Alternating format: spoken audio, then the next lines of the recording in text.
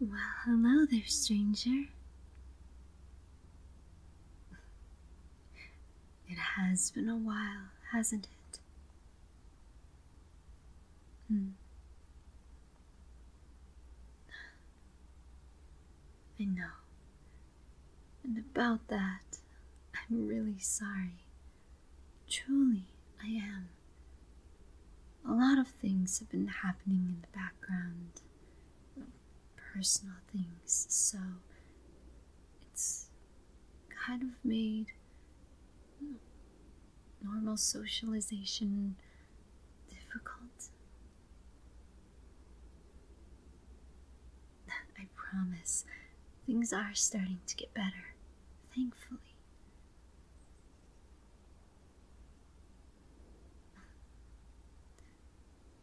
Thanks. I do feel bad though. You and a few others checked in on me, and it's not like I blew you off, but I didn't quite know how to, um, tell you how I was feeling, more or less.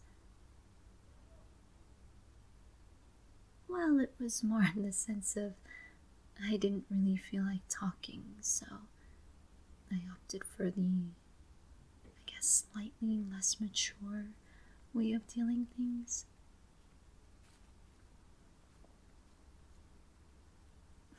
I promise. I won't. I won't ever again. If there's anything on my mind, I'll let you know. Thank you. And the same goes for you. You know you're always welcome to tell me what's up, what's going on, but you're not forced to. You don't have to share every little detail if you don't feel like it.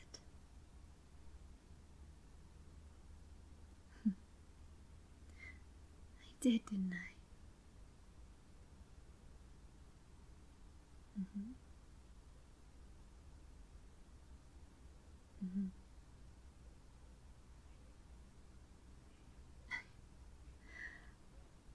Sounds like a deal then. We'll catch up another day for a lot longer than the amount of time we have today. And I'll take us out somewhere nice to eat. One of your favorite restaurants. How does that sound? Do I think I can buy your love back with food? Of course. Food is probably one of the main ways that we've bonded over our extensive years of friendship.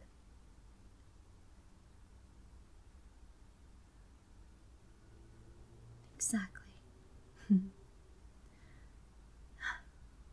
so, obviously, there's much more to why you called me to visit you, other than to chew me out for going AWOL for so long.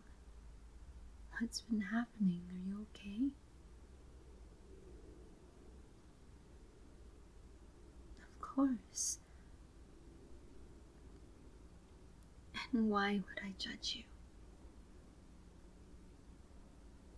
Hmm. Well, no judgment here. You've been patient enough with me for so long. Let me at least be here to help you. Give you my best advice, as best as I can, depending on whatever situation you're going through. Of course. So, I'm in.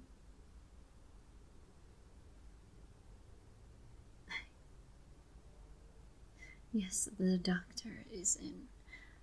Let me get my glasses, my notebook. You lie on the couch and tell me what's wrong.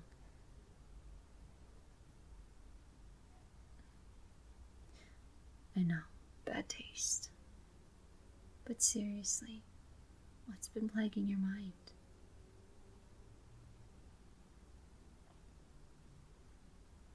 Mm-hmm.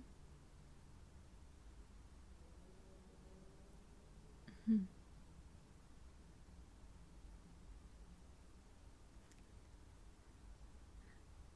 Is it that one friend that you told me about last week?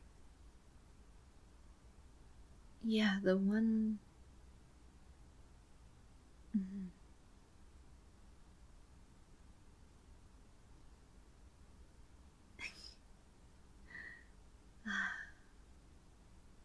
Isn't that always the never ending issue, though?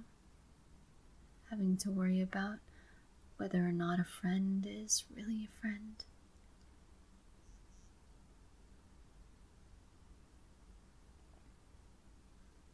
I know, it's tough, it's not easy, and I know I'm not somebody who helped that type of situation, that I know for sure.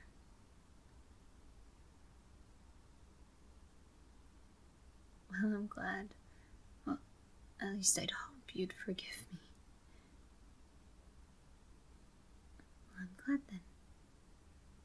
As for your situation, though, um,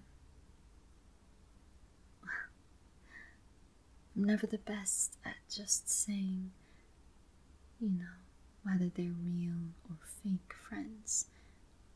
A lot of people are friends.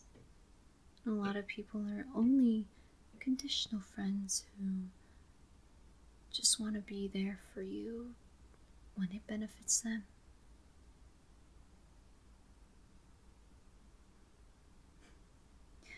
I guess that is the definition of a fake friend. Sort of.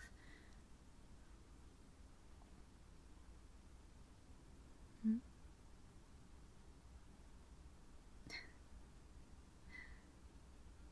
Well, that may be so. Just because I've made my fair share of good friends, one, of course, being you,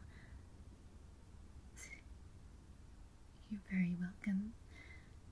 It doesn't mean I've had my fair share of not so great friends. I've had to deal with some people before, many people, in fact, who are either only my friend to get something out of me, or weren't really my friend, but were friends with a friend of mine and only talked to me whenever I was with that mutual friend. We don't even talk about that one. No. That was a complete other level of crazy. But either way, exactly. Nobody's safe from fake friends here and there. That doesn't mean you'll turn into one.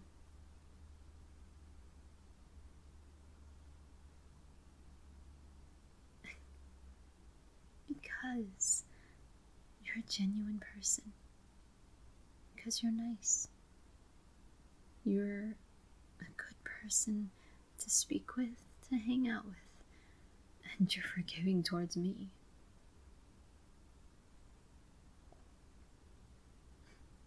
Regardless, while I may have been there for you for X amount of times, I'm not perfect. I do know this.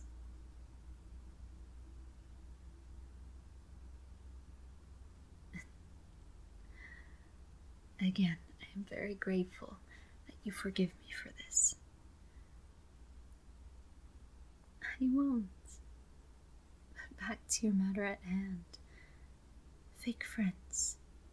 Either becoming one or the fear of just friendship.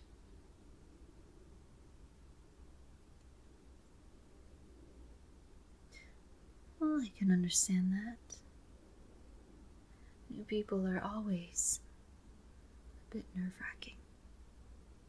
Whether they be brand new, as in nobody else in your circles know who they are, or mutual friends, where you both have a friend in common with each other. Mm-hmm. Exactly.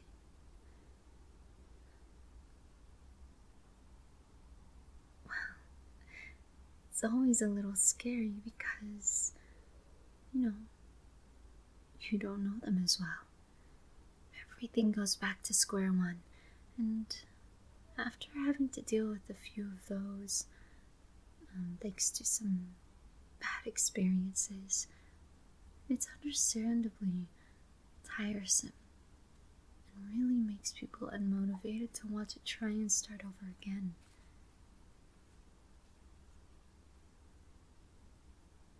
I know. Trust me, I know. It is not easy. But still, it's okay to try and make new friends after you heal. Of course, healing is extremely important. It's not like one of those things lose a friend, gain another to replace them. A friendship is still a form of a relationship. And whether or not it ended well, you still need to have your own time to either grieve or process what you experienced.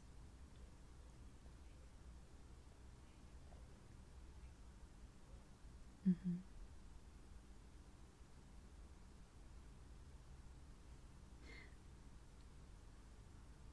I know that all too well. Trust me. You know what I've been through. You know what I've had to basically endure. I was scared to make new friends for years. I was barely close to any of my new coworkers at the job that I got back then. Of course, it was all friendly banter, that doesn't mean that I was ready to put my full trust in someone again.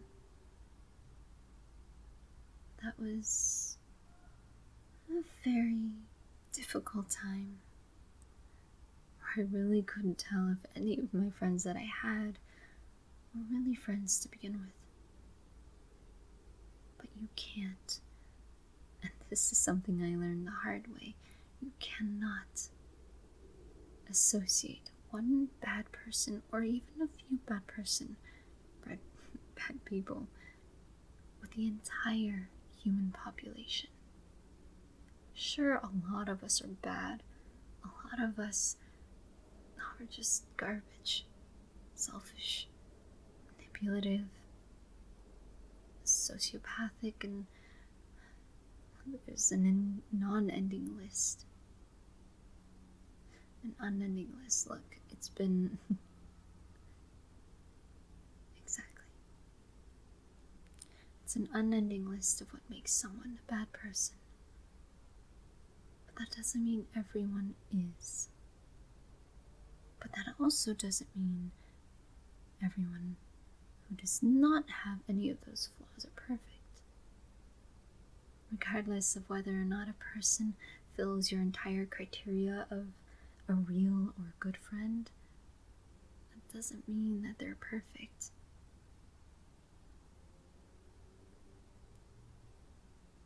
Exactly. At the end of the day, we are all humans.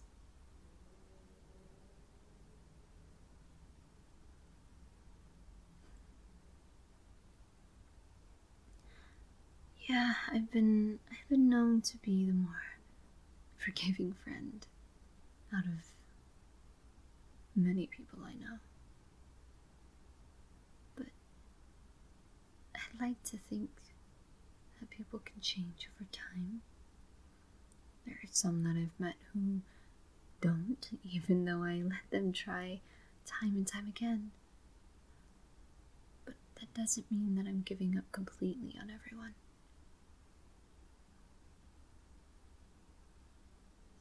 Exactly. Don't associate one bad apple with the entire tree, or let alone the entire orchard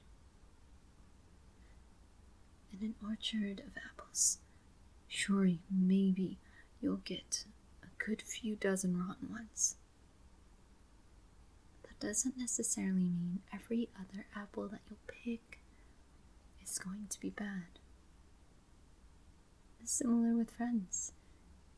Sure, you may run into a few bad ones, but that doesn't mean everyone is the same. to be fair, nobody's really the same. We're all our own person with our own thoughts, our own ideas. Exactly. Mm-hmm. And you have every right to be concerned and cautious. I'm not telling you to just run up to a random stranger and say, hey, let's be friends. I'm saying, if that is to ever happen again, when you feel the courage of meeting someone, of making friends, and then you start to feel that worry in the pit of your stomach, an eye on it. Listen to it if it starts to point to somebody that you feel your intuition is not as good as they say or portray themselves to be. But still, allow yourself to believe that there is still good out there in the world because there is. It may be difficult to find, but there really is good in the world. I promise. I pinky promise. There. Happy?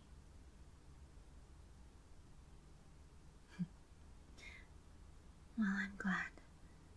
And I hope that what I had to say, even if it was a little all over the place, I hope it helped. Or at the very least gave you a sort of different perspective on friendships and people.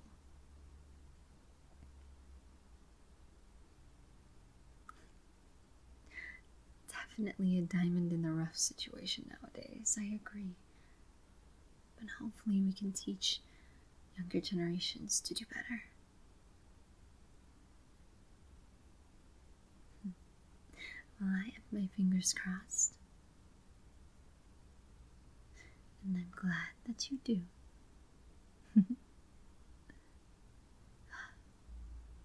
you know, now that we talked about food earlier, I'm actually kind of hungry. My meeting isn't for another few hours. What do you say? Oh, no, no. This outing won't be that makeup lunch dinner date that we'll have for me to make up for missing out on talking to you. This one's just for fun, for more catching up to do. With food this time. You're down? Oh, that's great. Okay, I parked my car over there. Let's go pick a place and I'll drive us somewhere really good to eat. Of course, I love that type of food. Come on, let's go.